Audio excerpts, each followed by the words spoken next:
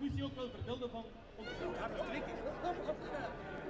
L'objectif d'aujourd'hui, c'est de, démontrer que Linkebeek est et reste une commune flamande, malgré euh, tous les, toutes les exigences des, francophones qui sont pendant des années et des années se sont installés ici. On proteste contre l'accord euh, qui a été organisé par les partis traditionnels, euh, où euh, six communes flamandes avec des facilités pour les francophones sont annexées à, euh, à la région de Bruxelles. Pour nous, ici, c'est du terre flamand et soit de rester du terre flamand. En fait, on est pour l'indépendance de la Flandre.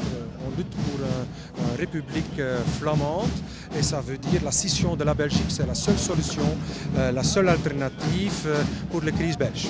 Bon, on est en Flandre ici. Euh, et euh, on n'est pas du tout contre les gens qui viennent euh, s'installer en Flandre.